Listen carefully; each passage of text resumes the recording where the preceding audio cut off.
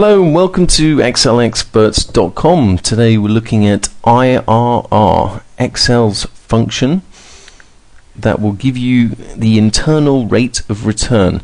Now, I think a very important thing to do here is to explain IRR in a really simple fashion and then try and build it up and explain what it's actually doing using a slightly more complicated example. So, here we have two cash flows. What is a cash flow? Well, a minus number means it's coming out of your bank, and a positive number means that it's going into your bank. So we have two annual cash flows. Year zero means right now, today, and year one means in exactly a year's time. The IRR function will return the annual rate and it assumes that the cash flows are entered as annual cash flows. That's very important. So if this were an investment and I paid out 100 today and I got 100 in a year's time, well, it's a pretty awful investment.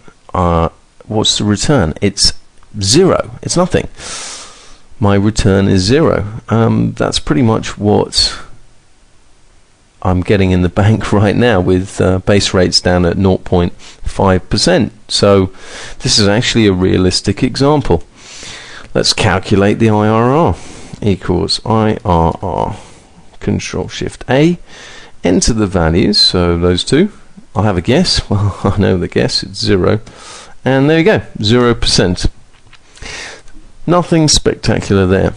Let's say the government hikes interest rates and uh, I'm able to get back 110 in a year's time.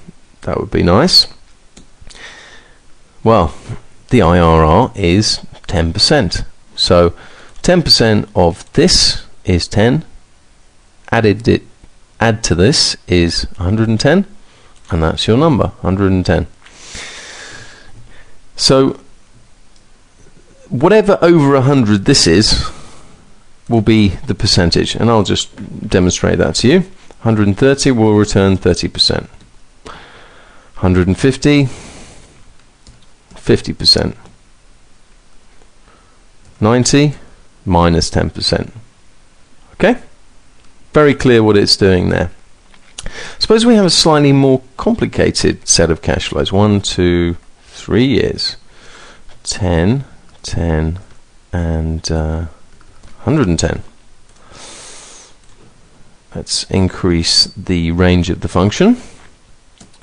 Well, 110 in three years' time and two payments of 10, IRR 10%. Well, that kind of makes sense, doesn't it?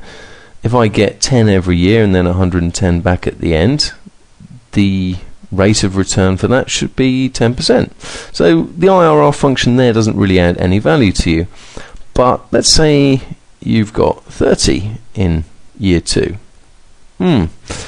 Well, now, to try and calculate that internal rate of return in your head, that's very tricky. So this function is actually very useful for you. So let me explain a bit more what it's actually doing. Suppose we were to take that cash flow and we were to invest it.